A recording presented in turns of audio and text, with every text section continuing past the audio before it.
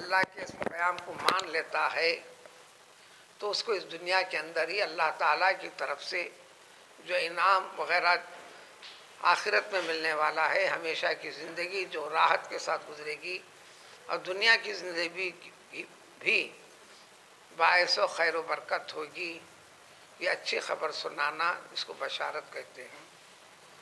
इस से हर रसूल बशीर है और हर रसूल नज़ीर है। मुंजिर कहो, नज़ीर कहो, माना एक ही है।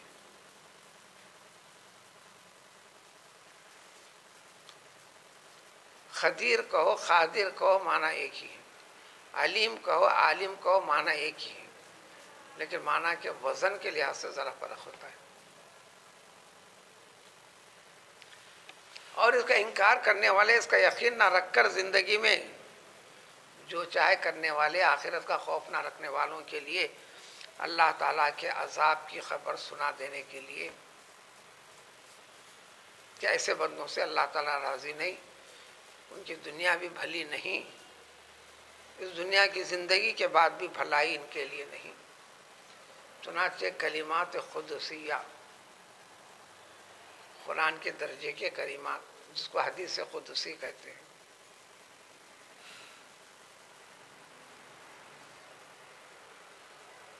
खिताब अल्लाह ताला ने सबसे पहले इंसान आदम सलाम को, आज के इंसान को भी समझाने के लिए कुरान हज़रत आदम सलाम से शुरू करता है तारीख। जगह जगह उसी का ज़िक्र करता है। तुम्हारी असल जड़ जो सबसे अहम है, वहाँ से बात बता दी गई। उस जड़ के सारे के सारे डालियाँ और पत्तों के साथ अल्लाह ताला का मुतालबा वही है। अल्लाह ताला ने आदम सलाम से फरमाया कि आदम, जब तक तुम्हारा गुजर पुलसिरात के ऊपर से ना हो जाए, उस वक़्त तक मुझसे डरते रहना।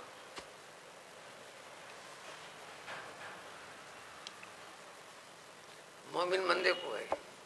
इसलिए ईमान की तारीफ़ है। अल ईमानु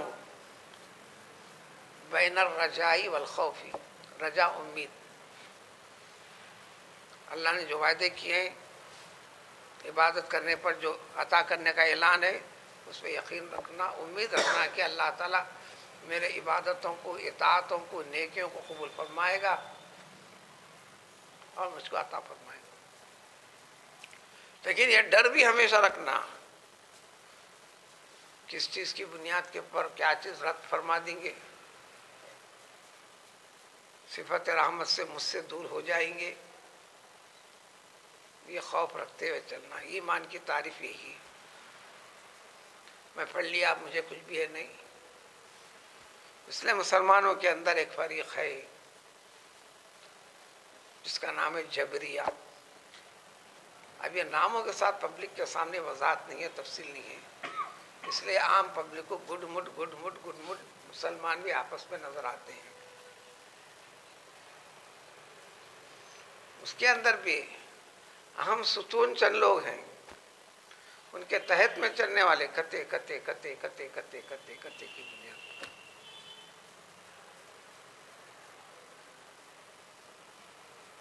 जो तिरहत्तर फिरकों का ज़िक्र है और नामों के साथ है।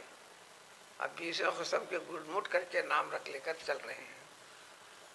वो हकीकत जान गए तो इख्तलाफ की वजह भी समझ में आ जाएँगी।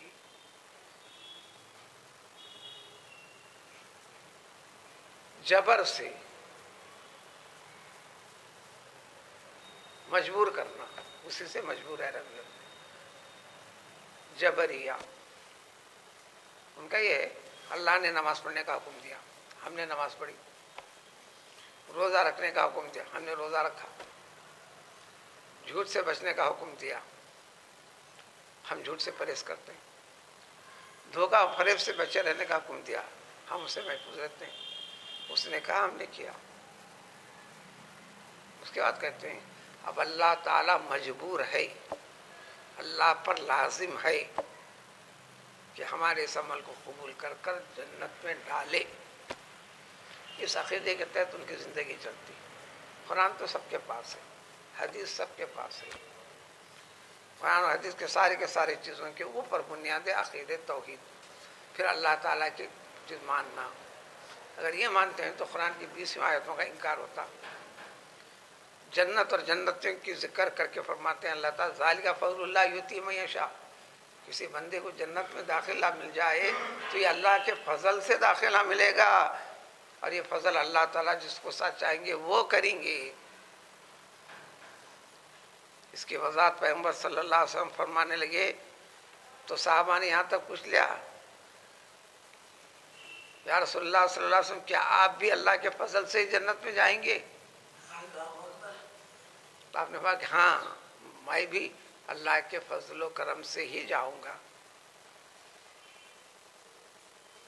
ये और बात है कि अल्लाह ताला ने मेरे साथ फजल फरमाने का ऐलान फरमाया है। अल्लाह के फजल के बगैर नहीं, फजल को पाने के लिए अमल बताए। अमल कर लेने के बाद अब अल्लाह ताला पर लाजिम है। इसलिए इसको कहते हैं फिर ज़ाल्ला पाबंद सोम सलात ही होते हैं ये भी लोग। जाकिर और शागिल भी होते हैं। और एक फिर कदरिया, तकदीर। एक चोरी कर रहा है तो वो कराया तो मैं करूँ चोरी। मैं झूठ बोल रहा हूँ तो उसने मुझसे भुलवाया तो मैं झूठ बोल रहा हूँ। तकदीर में जो है सो मैं करूँ। मेरे पास क्या ताकत है? मेरे पास क्या ज़ोर है?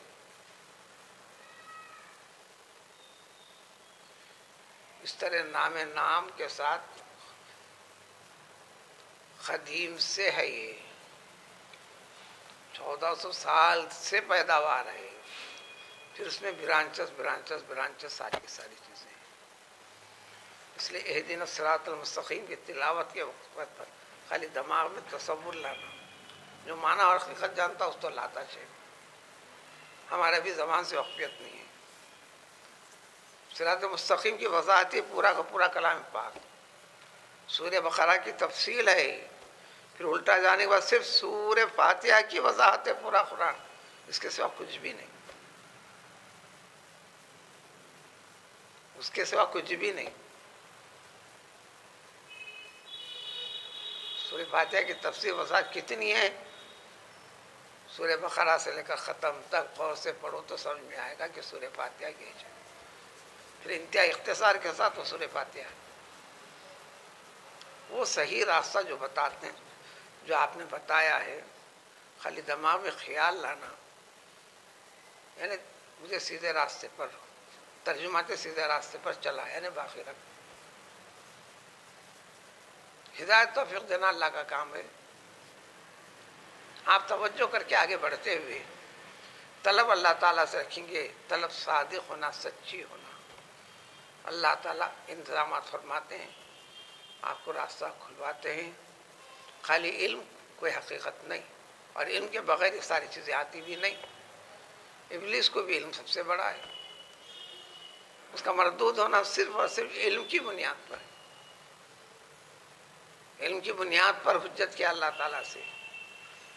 खैर, अब आप ही बताइए। मुझे आग से पैदा किया। आग नूर की किस्मों में से किस्म है। इंसान को मिट्टी से पैदा किए। नूर से ज़रा भी लेना देना नहीं है। नूर के मुकाबले में एक अदना चीज़ है। आपने ऐसा कैसा मुझे हुक्म दे दिया? मेरे से छोटे को मैं उसके सामने सर झुकाऊं? इल्मिश था। जितनी शरारतें होती इल्म की बुनियाद पर। हिदायत मिलती इल्म की बुनियाद पर।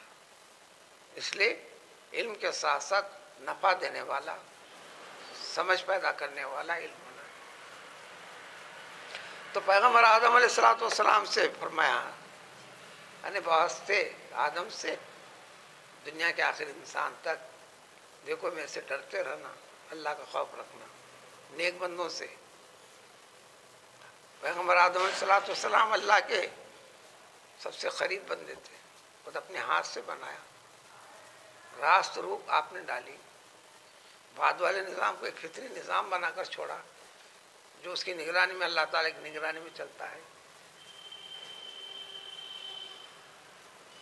कुरान जगह जगह करता है नफक तो फ़ी में रूही। देखो आदम को बनाने से पहले सारे फरिश्तों से आहद लिया, अल्लाह ताला ने। देखो मैं बनाऊँगा, एक इंसान को, बशरन मिन तीन, मिट्टी से एक इंसान को, और उसके अंदर मैं अपनी रूह, मैं फूकूँगा। उसके बाद तुमको उसका एजाज, ताजिम के तौर पर एहसास करना है। सबों ने माना, मर्ज़ी मौला की, अल्लाह की। इबलिस ने इनकार कर बुनियादी इल्म थी और दिन इस्लाम की इब्तदा इल्म से है कुरान का नजुल इल्म के साथ है। इखरा बिस्म अब्बी कल्लजी खलक। और इल्म के बगैर कुरान की हकीकत को समझ में नहीं सकते आप। तो इस तरह तमाम के तमाम पैगंबर। पैगंबर इब्राहिम सलाम इसी फ़िक्र में हमेशा गमजदा कैफियत में रहते अल्लाह ने पूछा, इतना गमगीन क्यों रहते हो? तो आपने जवाब दिया, बस आपकी उस चीज़ का डर लगा रहता है। कभी भी किसी चीज़ के ऊपर आप बंदे से अपने आप अपनी बेनियाजी का इजहार कर देते हैं। यानी रामत से दूर कर देते हैं, उससे नाराज़ हो जाते हैं। कहाँ किस चीज़ में मुझसे नाराज़ हो जाएँगी? ये डर खौफ लेकर मैं हमेशा अपने दिल में खौफ का इजहार करते हुए ज़िंदगी गुजारता हूँ। जबकि तोहहीद का महवर पूरे इसबाक अहम पैगंबर इब्राहिम सलाम के ज़रिए से गुजरते हैं। तो हमने हर रसूल को जो भेजा है, बशीर और नज़ीर बनाकर सिर्फ़ एक ही मकसद था, इसके सिवा कुछ नहीं था। वो सिलसिले की तकमील आखिर जमा पैगंबर सलाम पर फरमा दिया। अब उसूल बताते हैं, अल्लाह ताला, फमन आमना यानी सारी चीज़ें पेश कर दी गई। कलाम पाक भेज दिया गया। रसूलों के ज़रिए से वजात कर दी गई। सबका रसूलों की तफसील पेश कर दी गई। जो भी अब ईमान, यकीन इस पर रखेगा रख कर वह असलाह, इसलाह कर लेगा अपने। अकीदे के लिहाज से, अमल के लिहाज से ज़िंदगी में अब एलान खुदाबंदी, फला खौफ नाले अब इनको डर का है कोई डर नहीं है।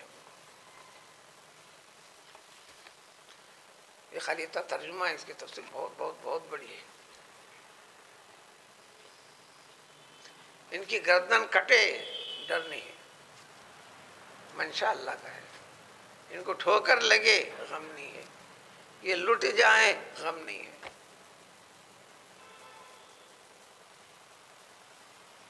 शायद अब्दुल्ला बिन मुबारक हैं, बहुत पेशस आकर मारूदाश किया। आज रात मेरे घर में चोर दाखिल होकर सारी चीज़ें चुरा कर घर का साजो सामान लेकर चले गए। अहम। लोग आज भी आते हैं। मेरी वो चोरी होगी, कोई तरीका है क्या बताओ? तलाश कर लिए। कोई ऐसा जादू मंत्र है तो बताओ। आप करके दीजिए, मुझे मिल जाए। ये रोज़मर्रा की है, छह बीमारी। चलते रहती है। उनसे कहा कि मेरा घर का चले गया। उन्होंने कहा, शुक्र बजाला शुक्र बजाला कि घर का सामान लेकर गया। कहीं वो सस्ते दिल से ईमान को चोरी करके ले जाता तो क्या करता था? यानी तोहिद ईमान या हकीकत को ही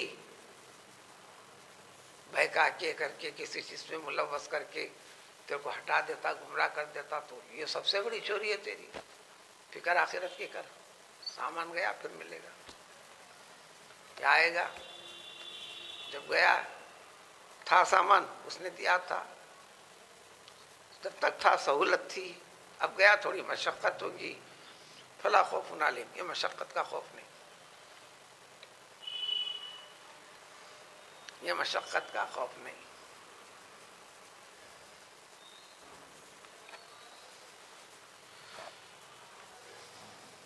इमाम अहमद बिन हम्बल को सुबह में कोड़े मारने वाले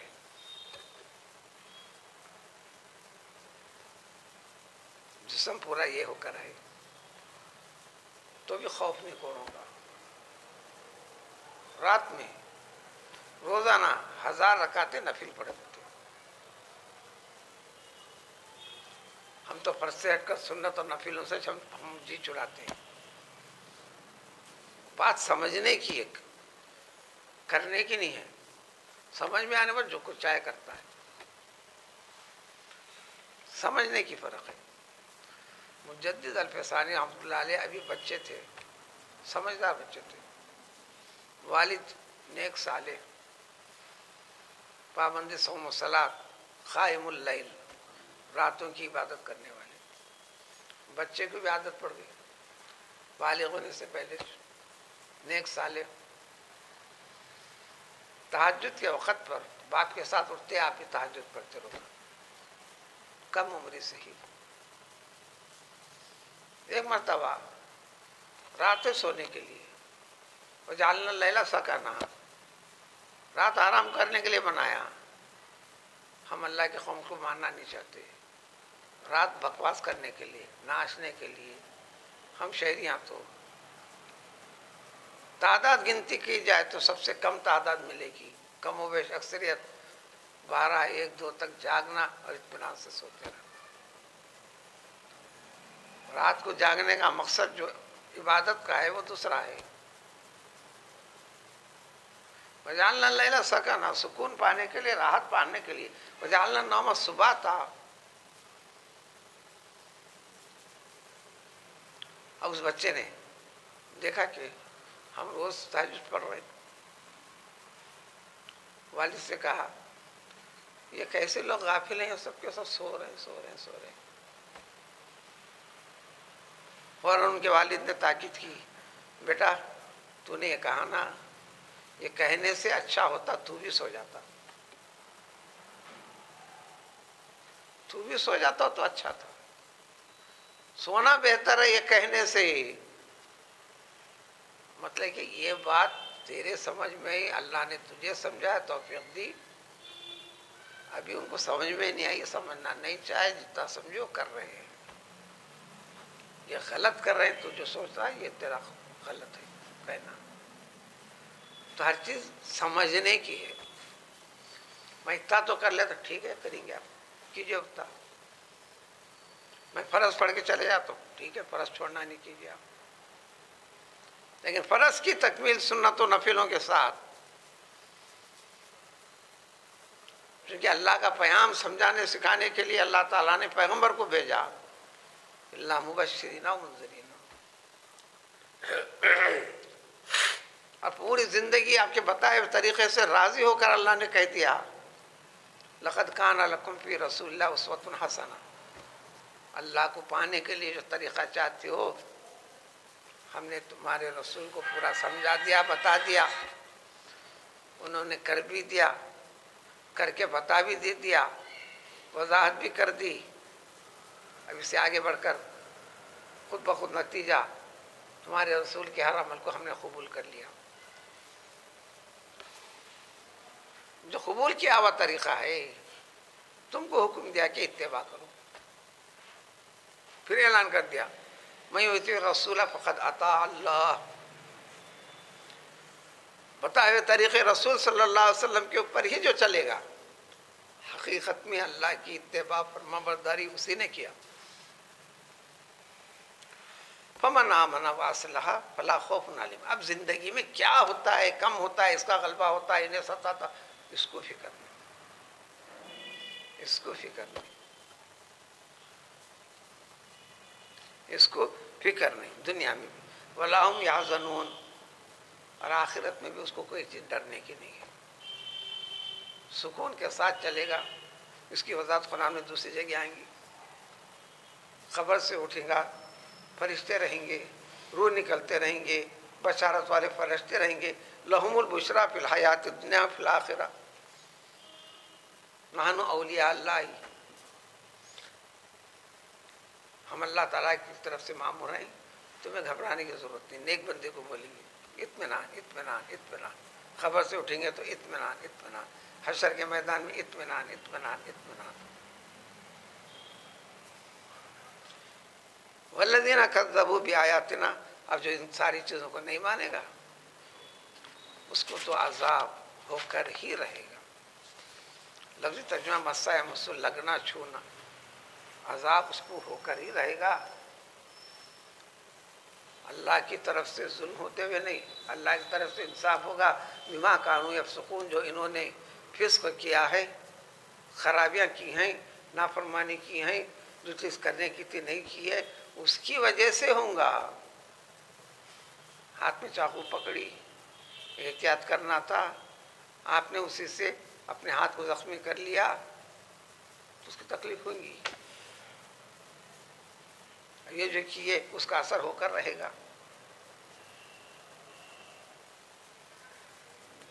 फिर कुछ रसूल की जिम्मेदारियों, जिम्मेदारियाँ उनकी हकीकत से मुतल अगली आयत में मजीद तफसी